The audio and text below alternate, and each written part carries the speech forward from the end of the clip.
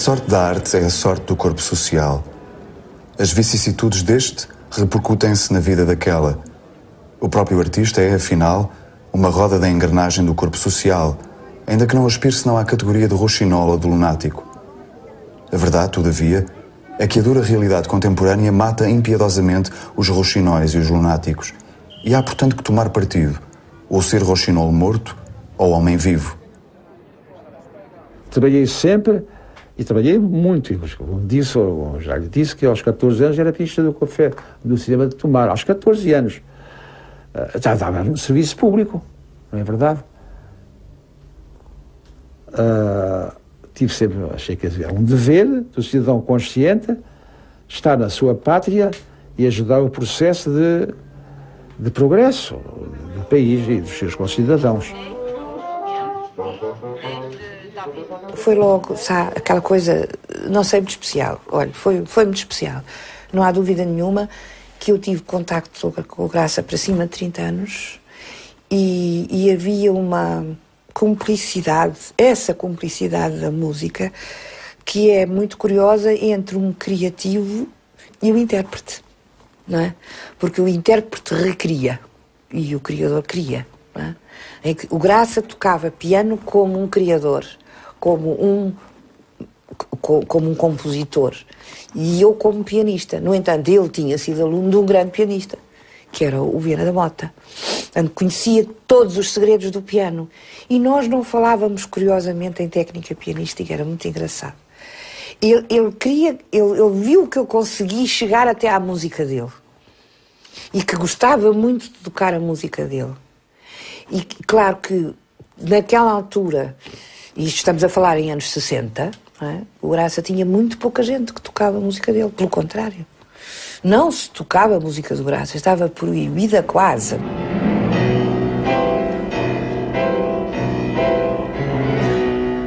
A música do Graça é, é humana, é o ser humano, é o português que ele era profundamente e é a transmissão direta em música da força do povo falando mesmo em povo, não em folclore, mas sim em povo, em tradicional, era o que o Graça representava. E isso foi uma coisa instintiva. Eu não lhe posso dizer que foi pelos lindos olhos, não. Foi, foi pela, por aquilo que ele representava. Ele, para mim, aliás, para nós todos, naquela altura, mesmo naquela altura, e durante toda a vida e durante todo o tempo convivi com ele, que ele me entrava aqui em casa e, e dizia o que é que queria comer e que não queria comer e, e, e, dava opiniões sobre os meus filhos e dava opiniões sobre as pessoas com quem eu convivi ou não e ele sempre, sempre achou que devia falar muito dessas coisas e eu dizia que sim, sim, sim, pois, pois está bem mas o senhor está sozinho. Estou sozinho, pois, estou sozinho porque não, não, não tenho feitiço para viver com ninguém. Para fazer uma pessoa infeliz, prefiro estar sozinho. O Graça era assim. E ao mesmo tempo era de uma doçura impressionante. De um, eu acho que ele era. É uma imagem um bocado estranha. Aqueles bichinhos, os ouriços, que são assim com muitos picos cá para fora e lá dentro é tudo molinho. O Graça era assim.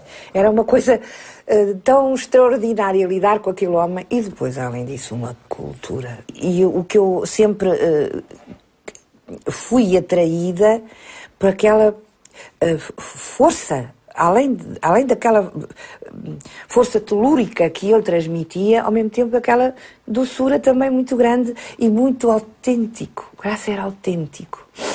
Eu procuro, na vida de hoje não é fácil, mas procuro ser autêntica também. E principalmente uh, dar a conhecer às pessoas é aquilo que é uh, verdadeiro na música, é aquilo que a partir deste teclado, por exemplo, a partir, a partir deste instrumento, que é o meu instrumento e que era o instrumento dele, não é? o piano, uh, poder transmitir um mundo de sensações, um mundo povoado por seres ainda humanos.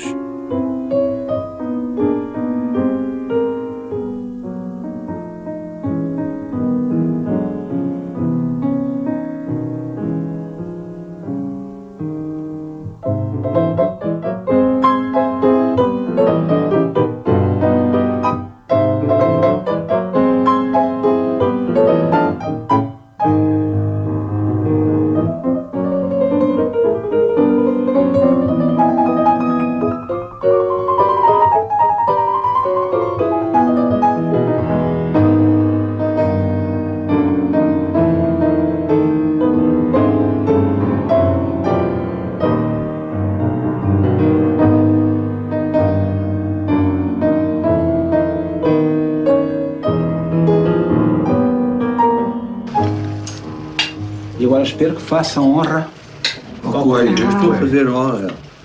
Ainda agora, o Vitorino de Almeida disse que o Graça era conhecido, era agora mais conhecido depois do 25 de Abril. Bom, isto... A música dele, pera. A música, a música dele. Não, não sei. Quer dizer, o Graça, como todos, como muitos outros artistas, trabalharam muito na resistência com a sua própria música, mas, e isso era até uma coisa curiosa para nós conversarmos já agora.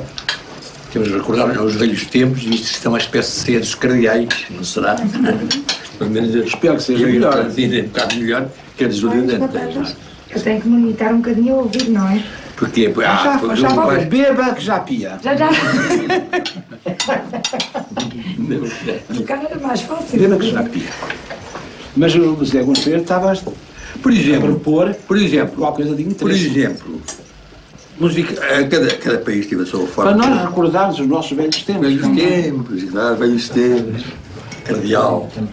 A verdade é que, é que não sei, a música do Lopes Gaza foi importante no, no, outro tempo, nas cadeias, eu recordo perfeitamente. Eu encontrava muita gente às vezes nas ruas que eu não conhecia, dizia assim: você é fulano, ou você é cicrano, ou é o Lopes Graça e tal.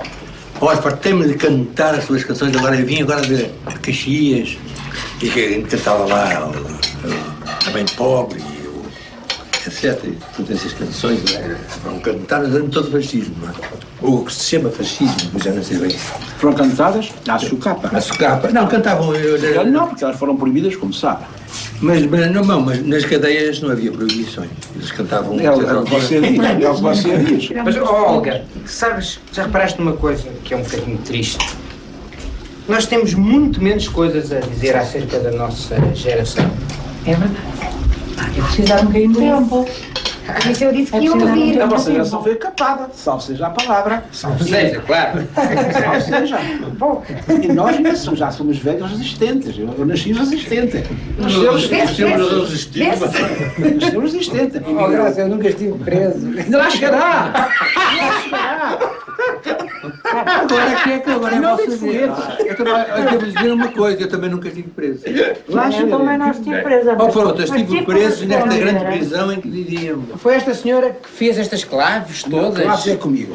Ah, foi o Graça que fez estas claves. Eu fiz o arroz. Fez o arroz, ah. E aquele Graça, vamos beber pelos 70 anos do Graça, aliás. É, mas é, isto foi tudo a propósito dos 70 anos do Graça. Vamos ver, uma mas por proposta. 100 anos do Graça. Exatamente. Bem, eu tenho essa esperança.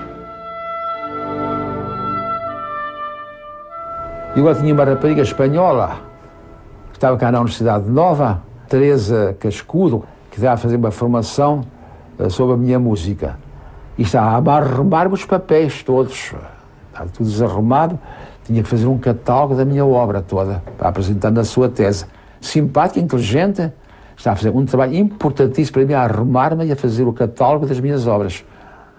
Tinha que ter, tinha que ter para a sua tese, tinha que ter tudo isso arrumado. E matriculou-se no coro da academia. Cantava no coro da academia, com o seu mau português, estava no coro da academia. E foi a várias coisas, a vários sítios onde o coro foi cantar. Portanto, na altura tinha 22, 23 anos. Uh, tinha tirado o curso, uh, cheguei com uma bolsa de, de estudos, enfim, uma bolsa, bolseira, não é? Uh, e ele achou graça, a menina espanhola que, que vai à minha casa, que diz que vai estudar, que vai fazer de doutoramento, imaginem. Ele deu-me o, o, o, título, eu, eu, sempre conto isto porque também dá, dá uma ideia de, de, qual é que é a relação que, que nós tínhamos. Deu-me o título de, de secretária benévola uh, e é nisso que eu fiquei, não é? Uh, acabei por, por fazer parte de, daqueles... Uh, aquele tipo de, de personagem que, que, aparece muitas vezes no, no, no, romance, não é? Que, que não está em, primeiro plano, mas acaba por ter, eh, como faz parte quase do serviço, não é?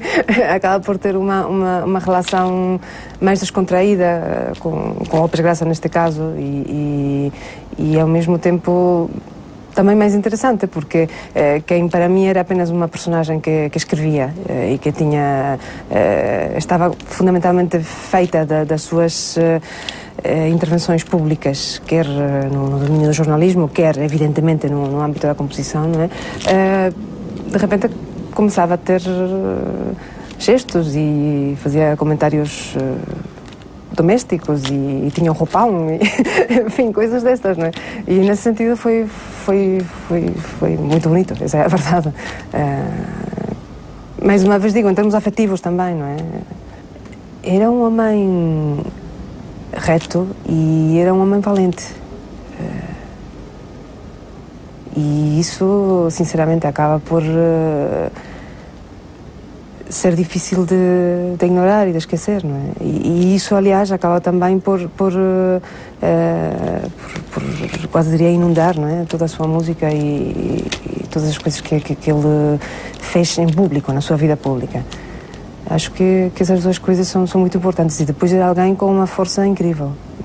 Quando estavas uh, ao pé dele, e mesmo com a idade que ele tinha e com o tamanho que ele tinha, porque era pequenito, não é? Uh, conseguia uh, encher o espaço, não é? Estas pessoas que conseguem fazer isso. Os compositores, no, no, no, meio disto tudo, acabam por ser uh, os artistas mais mas utópicos, de facto, estão a depender de tanta, tanta, tanta, tanta gente, não é? Que, que, que te parece mentira é, que eles insistam em, em, em, em verdade por esse caminho. Aliás, em relação ao Lopes Graça, um, essa é uma questão que eu, que eu sempre me coloquei. Como é que é possível?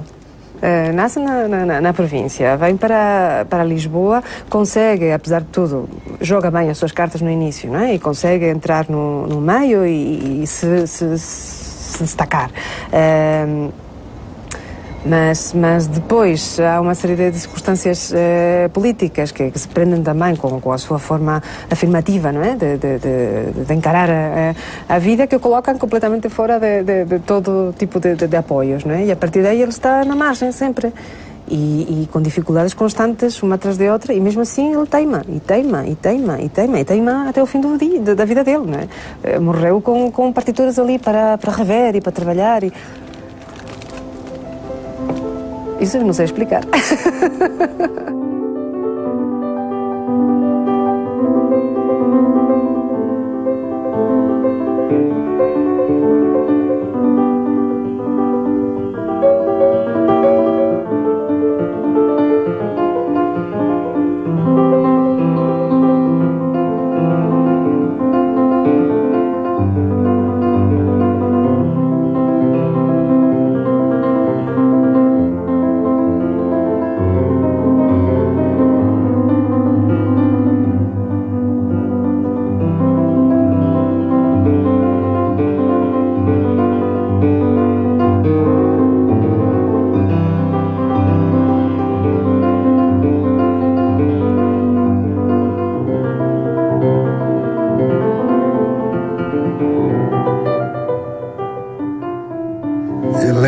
bem, porque no Senhor da Serra havia um pavilhão especial, havia a casa, e, eh, e a uns metros de distância havia um pavilhão que era o que nós chamávamos o pavilhão do, do ping-pong. Havia ping-pong, jogávamos muito ping-pong, com o Costelo, com ele, tal, jogávamos essa coisa toda, e ele trabalhava sempre, quer dizer, nunca deixou de trabalhar, escrevia. Foi aí que ele acabou uma obra importante da vida dele e para nós também, que era nem mais nem menos que a Sinfonia. E eu estava lá dele a ver aquilo. Né? E a uma certa altura, é, é curioso, porque não me esqueço disto. É? Então, mas ponha aí qualquer coisa que me diga respeito.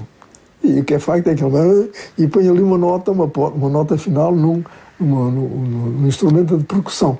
Quer dizer, ali no Jornal da Altura estava a acabar a coisa e pronto, isso é, é isso a homenagem. É curioso que eu não me esqueça desta coisa. Né? E então, ele tinha convidado também, ele Graça, no Senhor da Serra, tinha convidado o Joaquim Namorado, fazia parte também do grupo da, da, da Vértice, é? e convidou-me a mim também.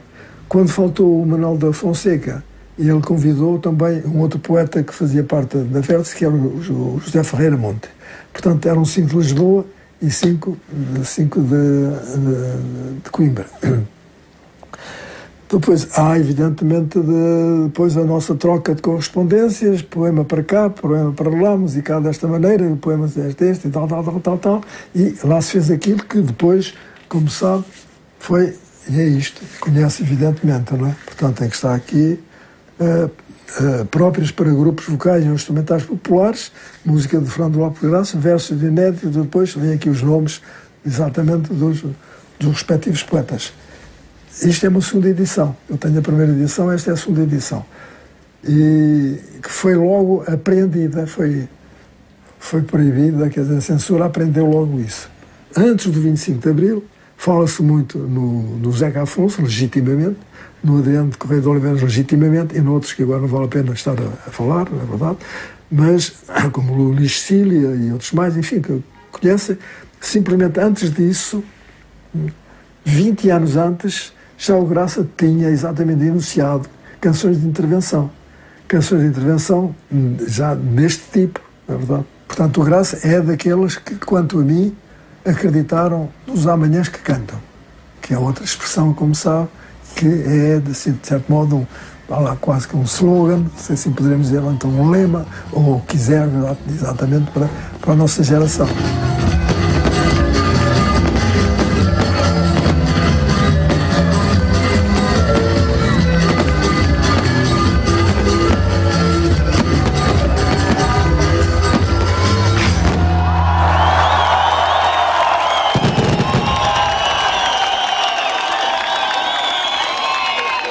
Peço favor, se tiverem que manifestar agradavelmente, para nós será muito agradável também, só no fim, não interromper a sequência das canções.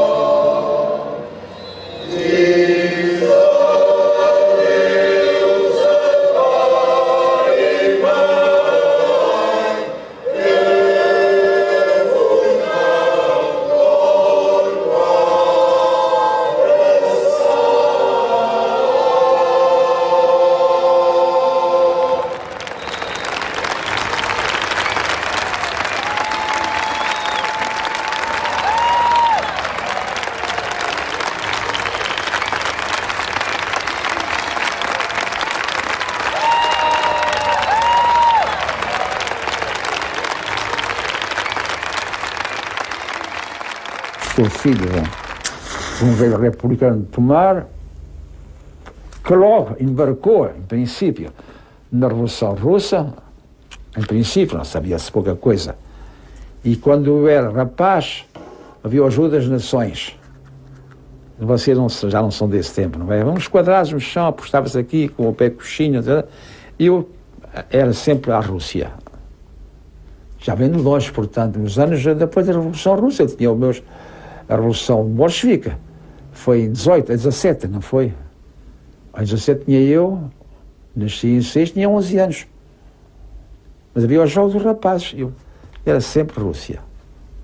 Porquê? Por uma tendência, ou, ou por pouco que eu ouvia falar, meu pai lia ao jornal, seguia muito a guerra. Uh, e a Revolução Russa, de longe o que se podia saber. O meu, o meu comunismo é de coisa, é de, é de nascença, digamos assim.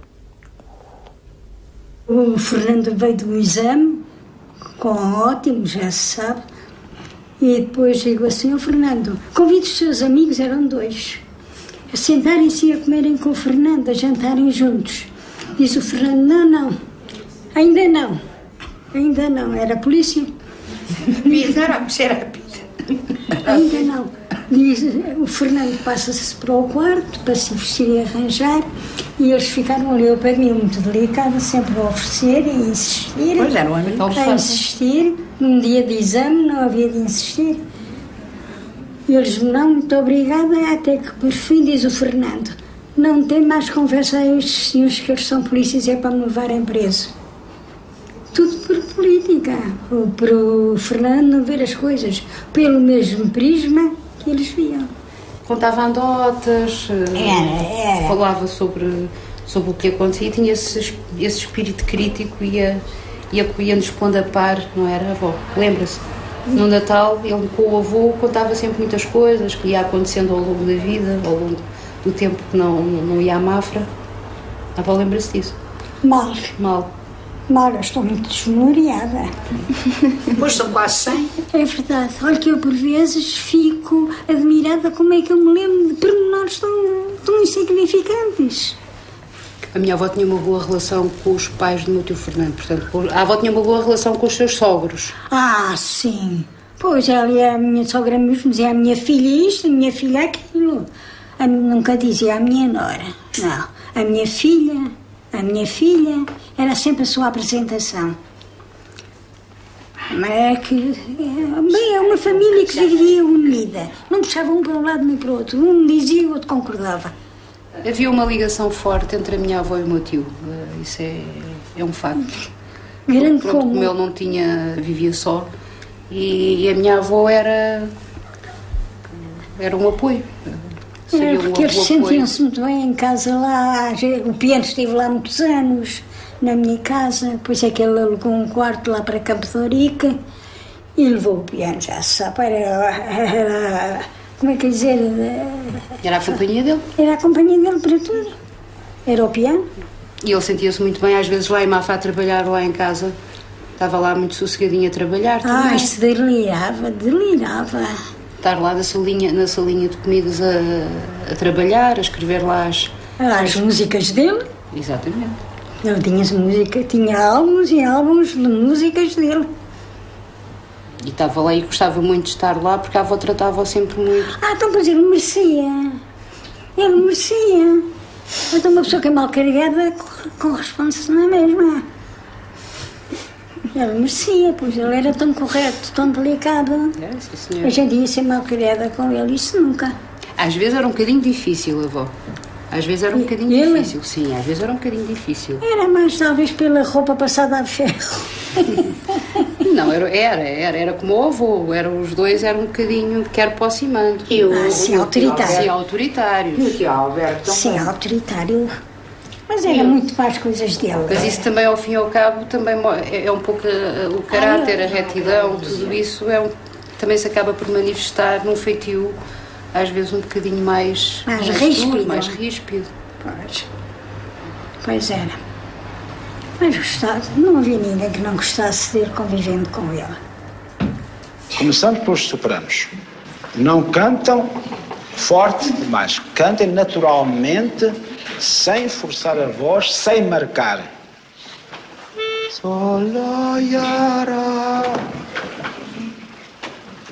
Senhora Santa. Acho que está forte.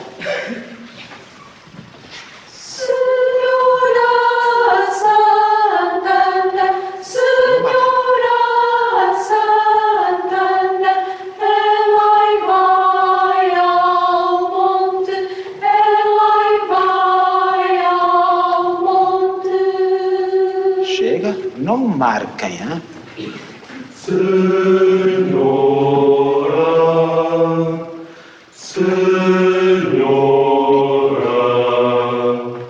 tom, tom, tom, tom, tom, tom, tom, tom. Vamos tentar juntar para você ter um conhecimento do que é canção no seu todo. Naturalmente vai haver deficiências, nós estamos no começo deste trabalho. Oh, lá, lá.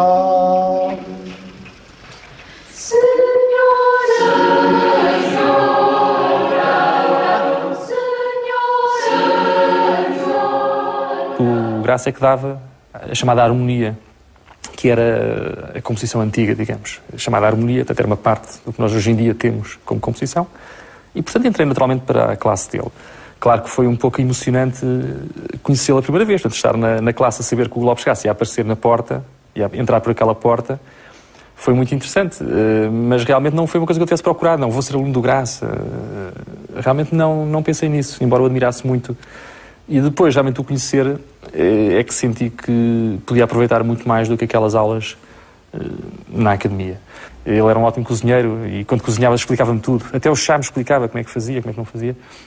E como é, qual é era a temperatura, como é que tinha pôr o bule, quem é que tinha trazido o chá. Eh, e isso era fascinante. Eu tinha 17 anos, 16, 17 anos na altura. Ele tinha já quase 80. Mas foi um convívio naturalíssimo, foi como um gesto de segundo avô. Portanto, eu nunca senti nenhum tipo de constrangimento. Depois, claro, com o convívio eh, foram acontecendo outras coisas. Quer dizer, ficava lá dias inteiros, dormi lá, comi lá, quer dizer, passei lá. eh, às vezes nós ficávamos até muito tarde e o, último barco já tinha, já tinha saído. E então eu ficava lá em casa. E dormia num sofazinho que ele tinha na sala, que era um sofá-cama. Um sofá, um sofá-cama, que era muito pequenino. E então eu tinha que dormir, que era comprido, eu tinha que dormir com os pés em cima dos giradiscos, porque não havia outra hipótese. Mas o pior foi quando eu ia deitar, no primeiro dia que lá fiquei a dormir, ele muito solícito, muito avô, eh, queres mais um, um, um, lençol, vê lá se estás com frio, vê lá, muito solícito. Eu, não, está tudo bem. E depois, eh, o, pro- o problema foi depois, porque ele disse, olha, que nesse sofá já dormiu o Henri Sauguet, já dormiu, sei lá, não sei exatamente, imagina, o Rossopovich, não, não era o Rossopovich, mas assim, nomes, uma enfiada de nomes que eu já não me lembro exatamente quem, mas tudo nomes assim importantes. Eu quase tive medo de dormir ali, porque, quer dizer, porque era o sítio onde aquela gente toda tinha ficado também, imagino. De resto, recordo uma pessoa generosa que nunca me cobrou um tostão pelas aulas, porque quer dizer, houve muitas vezes em que eu ia à casa dele e tivemos a trabalhar, não é?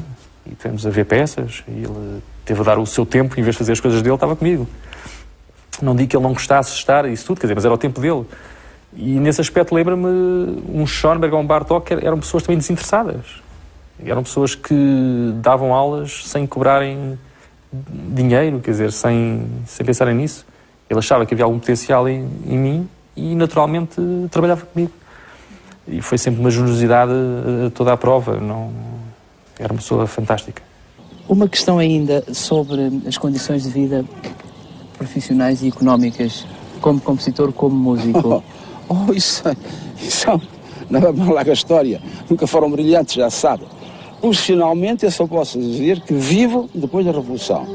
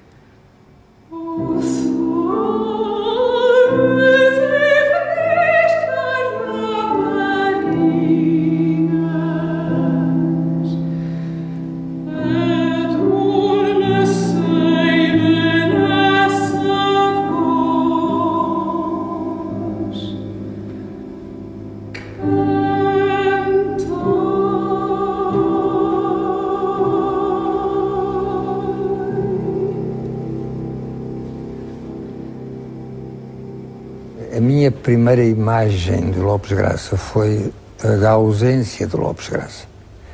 E então eu estranhava que, que Lopes Graça nunca estava nos concertos. E dizia, ingenuamente dizia, mas, como é que é possível? Se eu fosse músico, eh, eu estava, eu ia a todos os concertos, estava, estava presente, ouvia, tudo bem e tal. Mais tarde é que eu compreendi, claro. Ele não estava nos concertos porque estava simplesmente a trabalhar. E a trabalhar eh, em quê? Pois talvez não fosse fácil adivinhar em que estaria a trabalhar ele. O Graça, eh, enfim, que escrevia críticas, escrevia artigos, escrevia ensaios, traduzia. Eu lembro-me de ter lido as Confissões de Rousseau na tradução do Graça. Em primeiro lugar, há que dizer que a tradução é magnífica. E, e, e, portanto, essa seria uma das coisas que o Graça estaria a fazer enquanto eu, no, no concerto, perguntava onde é que estará o Lopes Graça. E, de facto, eu trabalhava muito, mas no, em, em certos aspectos de uma maneira invisível. E, e- e eu diria invisível e, por outro lado, também, desgraçadamente, eh, inaudível, porque sabíamos, aqueles que se interessavam, enfim, pelo assunto, sabíamos que, que ele estava a trabalhar, que trabalhava muito. E, e agora, onde é, que vamos, onde é que vamos ouvir o Lopes Graça? Esse foi, o, suponho, o grande drama, digamos, da existência dele como homem e como artista, que ele levou com, com uma dignidade eh, realmente extraordinária, porque não, não entrou num processo, digamos, de autocomiseração, embora, eh, enfim, eh, psicologicamente tivesse reagido a isso de, às vezes de uma maneira que não, que não seria desejável, porque, como, como, como sabemos, deixou-se tentar demasiado pelo, pelo, enfim, pelo álcool. E isso foi, enfim, isso foi mau. Eu lembro um dia de tê-lo tê-lo convidado a jantar à minha casa e, e eu, enfim, cre- creio que fiz aquilo que, qual, que muita gente outra faria para, que, para recebê-lo, pus música na sala. E o Graça entrou e a primeira coisa que disse foi disso, desliguem isso. Porque ele não suportava eh, ouvir a música nessas condições. Quer dizer, porque ele sabia, e eu devia sabê-lo também, que a partir do momento em que ele entrasse e começássemos a, a conversar, a música se transferia em ruído de fundo, nem sequer em música de fundo, seria simplesmente ruído de fundo. E ele respeitava, hum, bem, ele respeitava demasiado o seu trabalho, mesmo que a música não fosse dele. E, tenho, e eu, eu lembro que eu tinha posto uma das sinfonias do Beethoven, já não sei qual. Não sei se será a quinta, será a terceira, já não, já não me lembro. E, e, eu fico na, naquele momento um, po- pouco estomagado, não é? Como quem diz, então que é isso? Então vens, vens à minha casa e mandas-me apagar a, a música. Mas, enfim, é, quer dizer, mas compreendi imediatamente. O Graça necessitava muito de carinho. Ah, o Graça viveu só, praticamente sempre. Eu estive em casa dele várias vezes e era uma casa muito muito acolhedora. Não, não, eu não sei se era confortável, eu sei que era acolhedora. E, e sempre essa sensação, quer dizer, aqui está um homem que vive só, quer dizer, que nunca conseguiu estabelecer uma relação hum, de qualquer tipo que fosse, uma, relação forte, sólida, contínua, que o apoiasse. De maneira que duplamente isolado. Isolado porque o isolavam e isolado porque se isolava. Mas, enfim, o, Graça foi, foi um bom amigo. Além de tudo mais, foi um bom amigo.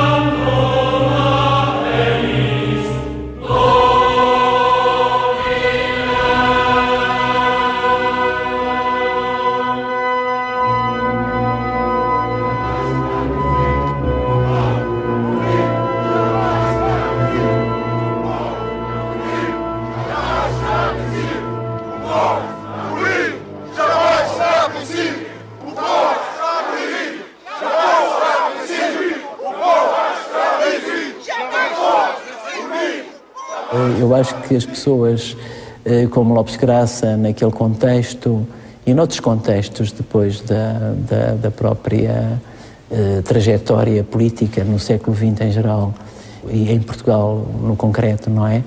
Eh, que as pessoas que vivem intensamente um ideal acabam por ter, precisamente por viverem intensamente esse ideal político e, e sacrificarem eh, posição, sacrificarem inclusive a carreira profissional, como é o caso dele, em nome dessas convicções, é, é claro que essas, é porque essas convicções têm um alto, uma alta densidade espiritual, senão isso não aconteceria. Não é uma razão fria. Eu acho que precisamente aí é que nós temos que distinguir entre a política como razão fria e a política como algo que se vive com o coração, não é?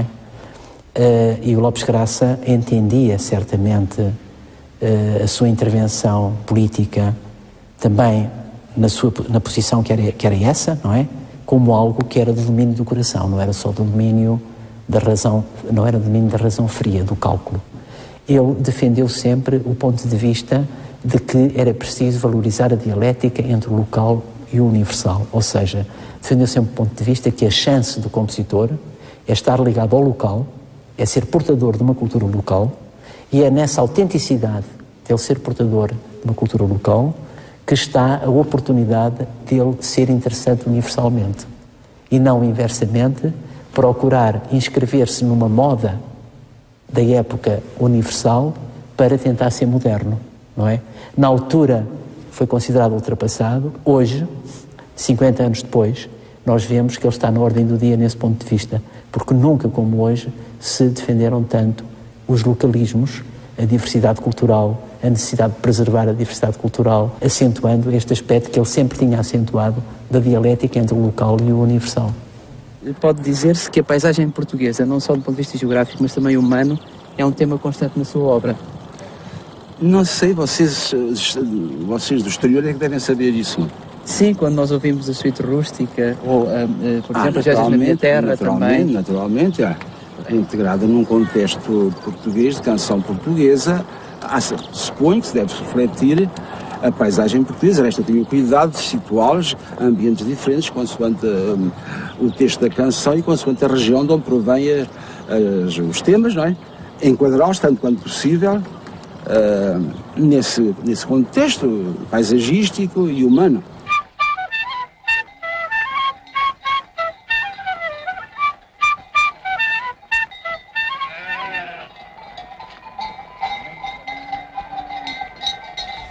Exatamente caiu. É, minha gente, ninguém viu. Para contra. A rua está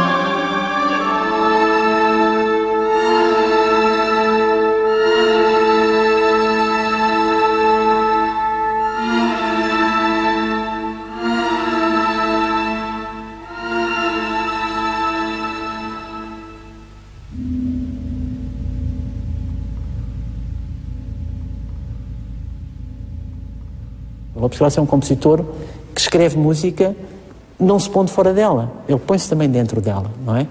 E, portanto, hum, eu acho que esse processo compositivo dele hum, vai muito no sentido, eu não queria usar um chavão, mas daquilo a que o. Hum, nem queria ser muito pretencioso a citar autores, mas o, o, o Adorno chama a dialética sujeito-objeto. Acho que o Graça é muito exemplo disso. O material transforma-se de acordo com a sua subjetividade, mas lança-lhe novos desafios, surpreende-o. O Lopes Graça é um compositor que se deixa surpreender por aquilo que o material lhe oferece e, portanto, há um jogo de parada-resposta, não é? Ele tem um determinado material, escreve, depois observa o resultado, eh, não esperava aquele resultado e responde.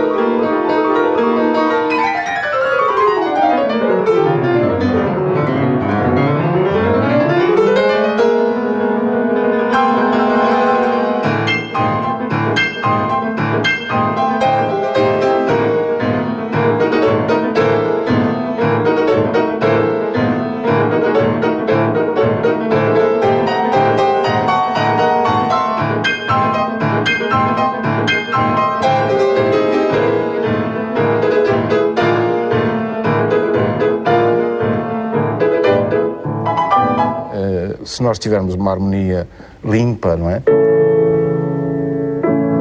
Há, digamos, um, um conforto auditivo, a pessoa sabe mais ou menos eh, a estrutura em que está inserido do ponto de vista acústico e sente algum conforto na- no, na- no seu enunciado e quando essa própria harmonia regressa.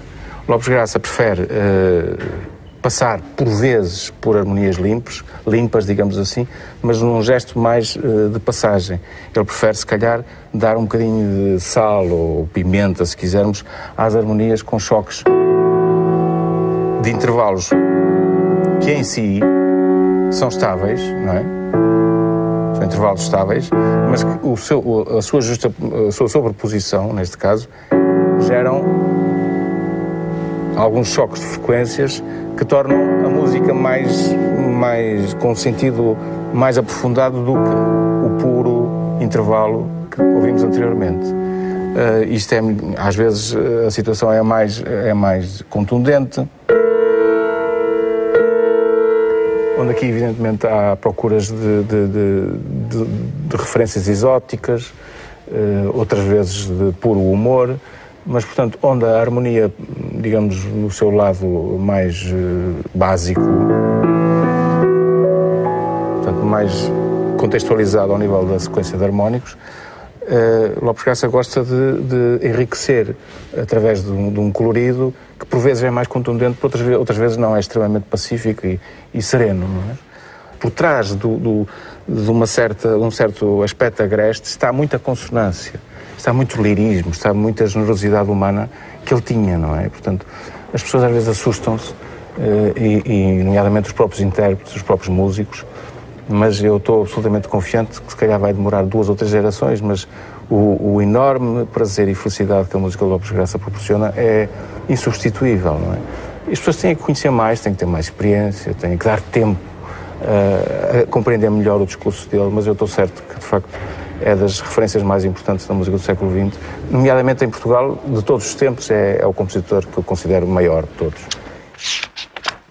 Gravação para valer, salvo qualquer acidente da vossa parte ou da minha, espero em todo caso não se verifique.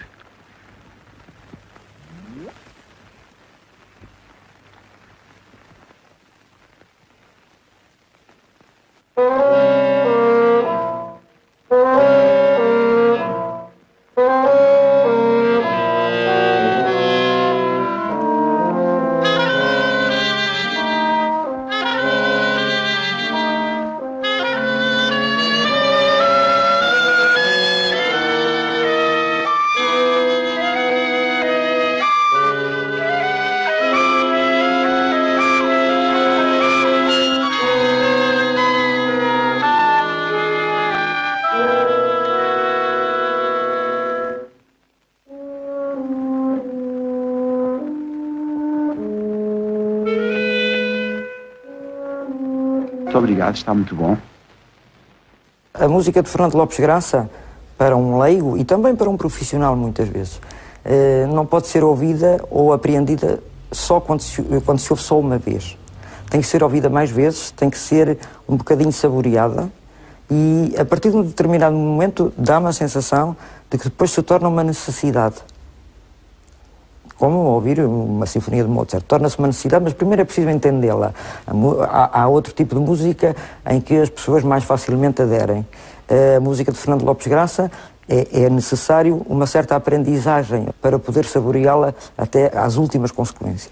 O Lopes Graça costumava dizer que só escrevia para músicos. Quando dizíamos, oh maestro, mas isto é complicado, mas eu só escrevo para músicos. Mas tinha esse conhecimento, eh, coisa rara, devo dizer, tão grande de qualquer instrumento que sabia perfeitamente o que é que era possível ou não possível fazer, a tal ponto que, uh, recordo-me, por exemplo, nas geórgicas que ele dedicou ao Ensemble, uh, em vários sítios, nós temos os, os, manuscritos de Fernando Lopes Graça, e em vários sítios ele pôs determinadas passagens e depois, por baixo, punha, se não for possível, porque ele sabia da dificuldade inerente, pode fazer desta maneira. Portanto, o conhecimento absolutamente incrível que ele tinha em relação a qualquer instrumento, fosse ele de cordas, de sopros, de tecla, ele conhecia perfeitamente as capacidades de cada instrumento e, obviamente, escrevia em função disso, sempre uh, tentando puxar-nos aos extremos. Mas os desafios é uma coisa de que eu gosto.